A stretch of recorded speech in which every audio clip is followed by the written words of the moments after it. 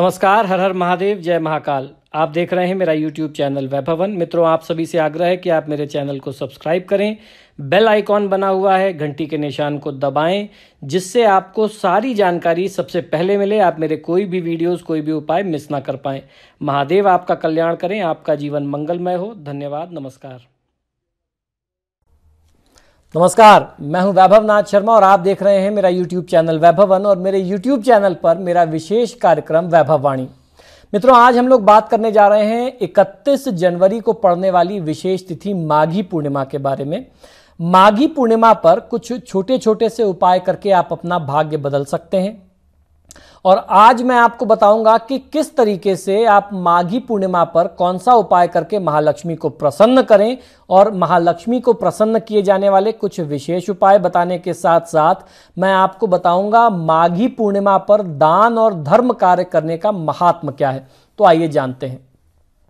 माघ पूर्णिमा पर किए गए दान धर्म और स्नान का विशेष महात्मा हमारे धर्मशास्त्रों में है। पंचांग के अनुसार ग्यारहवें महीने, यानी माघ मास में स्नान, दान, धर्म, कर्म का विशेष महात्मा है। इस दिन को पुण्य योग भी कहा जाता है। इस स्नान को करने से सूर्य और चंद्रमा युक्त दोषों से मुक्ति मिलती है। ब्रह्म वैवर्त पुराण में ऐसा कहा गया है कि महा, माघी पूर्णिमा पर खुद भगवान विष्णु गंगा जल में निवास करते हैं। इस दिन भैरव जयंती भी मनाई जाती है। माघ मास स्वयं भगवान विष्णु का स्वरूप बताया गया है। पूरे महीने स्नान दान नहीं करने की स्थिति में केवल माघी पूर्णिमा के दिन तीर्थ में स्नान कर लिया जाए तो संपूर्ण माघ मास के स्नान का पूरा फल स्नानकर्ता को प्राप्त होता है। माघ स्नान वैज्ञानिक दृष्टिकोण से भी बहुत महत्वपूर्ण है। माघ में ठंड खत्म होने की ओर रहती है तथा इसके साथ ही स्प्रिंग सीज़न की शुरुआत होती है। ऋतु के बदलाव का स्वास्थ्य पर प्रतिकूल असर नहीं पड़े, इसलिए प्रतिदिन सुबह स्नान करने से शरीर को मजबूती प्रदान होती है। शास्त्रों एवं पुराणों के अनुसार पौष मास की पूर्णिमा से माघ मास की पूर्णिमा तक माघ मास में पवित्र नदी नर्मदा, गंगा, यमुना, सरस्वती, कावेरी सहित अन्य जीवनदायिनी नदियों में स्नान करने से मनुष्य को पापों से छुटकारा मिलता है। और स्वर्ग लोकारोहण का मार्ग खुल जाता है। जब कर्क राशि में चंद्रमा और मकर राशि में सूर्य का प्रवेश होता है, तब माघी पूर्णिमा का योग बनता है। इस योग को पुण्य योग भी कहा जाता है। इस स्नान के करने से सूर्य और चंद्रमा का अगर कोई कुंडली में खराब योग होता है तो उस दोष से मुक्ति मिलती है। मास स्वयं भगवान विष्णु का स्वरूप बताया गया है, यानी माघ मास जो है। पूरे महीने स्नान दान नहीं कर पाने की स्थिति में अगर कोई व्यक्ति केवल माघी पूर्णिमा की तिथि में तीर्थ में स्नान करे तो संपूर्ण माघ मास के स्नान का पूरा पूरा पूर्ण फल उस जातक को मिलता है। महाभारत में एक जगह इस बात का उल्लेख करते हुए कहा गया है कि इन दिनों में अनेक तीर्थों का समागम होता है।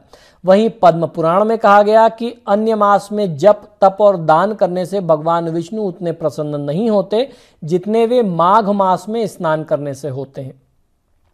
निर्णय सिंधु में कहा गया कि माघ मास के दौरान मनुष्य को कम से कम एक बार पवित्र नदी में स्नान अवश्य करना चाहिए।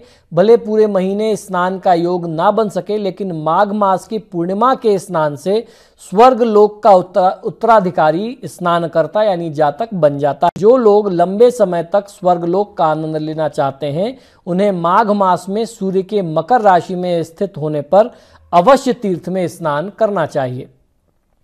माघ मास में दान का भी विशेष महत्व है। दान में तिल, गुड़ और कंबल का विशेष दान करना चाहिए। मत्स्य पुराण का कथन है कि माघ मास की पूर्णिमा में जो व्यक्ति ब्राह्मण को दान करता है, उसे ब्रह्मलोक की प्राप्ति होती है। माघ मास में पवित्र नदियों में स्नान करने से विशेष ऊर्जा प्राप्त होती है। वहीं शास्त्रों व पुराणों में वर्णित है कि इस मास में पूजन, अर्चन और स्नान करने से भगवान नारायण को प्राप्त किया जा सकता है। वहीं मास के स्नान से स्वर्ग की प्राप्ति का मार्ग भी प्रशस्त होता है। माघ पूर्णिमा की के अवसर पर भगवान सत्यनारायण जी की कथा कही जाती है, सुनी जाती है। भगवान विष्णु की पूजा में केले के पत्ते, केले के फल, पंचामृत, सुपारी, पान, तिल, मौली, रोली, कुमकुम, दूरवा का उपयोग किया जाता है। सत्यनारायण भगवान की पूजा के लिए दूध, शहद, केला, गंगाजल, तुलसी का पत्ता, मेवा मिलाकर के पंचामृत तैयार करना चाहिए। माघी पूर्णिमा के दिन श्रद्धालु स्नान, दान, पूजा पाठ, यज्ञ आदि करते हैं। माघ पूर्णिमा के दिन स्नान करने वाले व्यक्ति को भगवान विष्णु की असीम कृपा प्राप्त होती है। सुख, सौभाग्य, धन, संतान की प्राप्ति होती है। इस कारण से माघ स्नान को बहुत ही पुण्यशाली बताया गया है। शास्त्रों में कृष्ण भक्ति आनंद, सुख और सौभाग्य देने वाली मानी गई है। श्री कृष्ण की हर लीला भी हर इंसान को अपने गुण और शक्तियों को पहचान करके उनसे सफलता पाने का संदेश देती है। श्री कृष्ण द्वारा बताया गया कर्मयोग भी कलह और दुखों से बचने का सबसे बेहतर और बेजोड़ सूत्र है।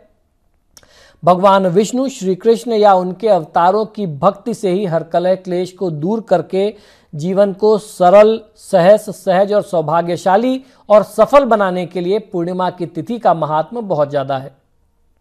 सुबह भगवान श्री कृष्ण को गंगा जल और पंचामृत से आप स्नान कराएँ। स्नान के बाद गंध, सुगंधित फूल, अक्षत, पीले वस्त्र चढ़ाएँ।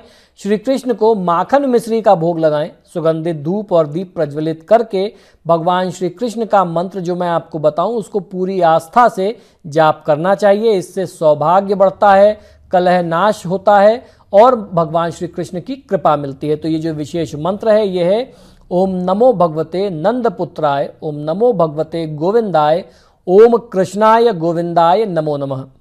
इस मंत्र को जाप करने के बाद, ध्यान से इसका प्रयोग करने के बाद भगवान श्री कृष्ण या भगवान विष्णु की आरती करनी चाहिए। प्रसाद बांटें और खुद ग्रहण करें। पूजा आरती में हुई गलती के लिए आपको क्षमा प्रार्थना करनी चाहिए। माघ मास को बत्तीसी पूर्णिमा भी माघ मास की पूर्णिमा को बत्तीसी पूर्णिमा का व्रत भी कहा जाता है।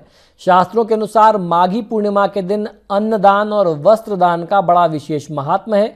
इस तिथि को स्नान के पश्चात भगवान विष्णु की पूजा की जाती है।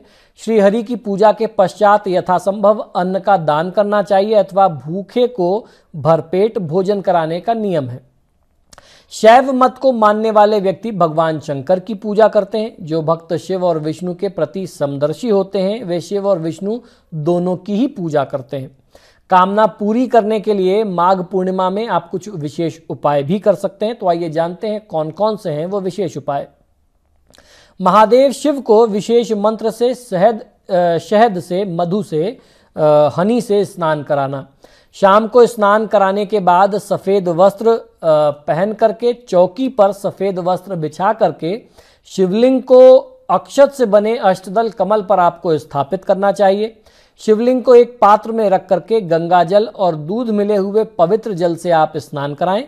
इसके बाद शहद की धारा, जो मंत्र मैं आपको बताऊँ, इससे आपको शिवलिंग पर समर्पित करनी चाहिए। इस मंत्र को बोलते हुए करने से पाप का नाश होता है और समृद्धि की प्राप्ति होती है। यह यह मंत्र इस प्रकार है। दिव्य ही पुष्प समुद्भूतम सर्वगुण समन्वितम मधुरम मधुनामांगम स्नानार्थम प्रतिगृहताम इस मंत्र का उच्चारण करते हुए आपको शहद से स्नान कराना चाहिए। शहद स्नान के बाद शुद्ध जल से स्नान और भगवान शिव का पंचोपचार पूजन, यानी पाँच प्रकार के पदार्थ, चंदन, फूल, बिल्वपत्र और मिठाई का भोग लगा करके आप पूजन करें। धूप दीप और कपूर से भगवान शिव की आरती करें और जाने अनजाने में हुए गलत कार्यों के लिए आप क्षमा प्रार्थना करें।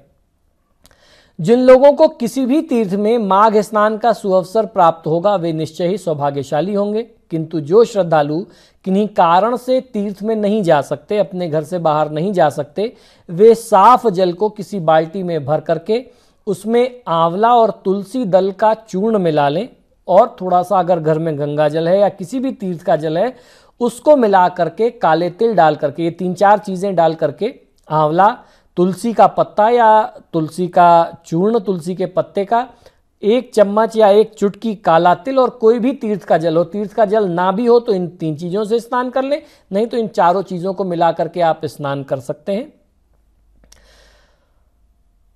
आपको ये बता दें कि पूर्णिमा में प्रातः स्नान, यथाशक्ति दान और सहस्त्र नाम अथवा किसी स्त्रोत द्वारा भगवान विष्णु की आराधना करने से मनोवांछित फल की प्राप्ति होती है। निष्काम भाव से माघ मास में स्नान करना मोक्ष को दिलाता है।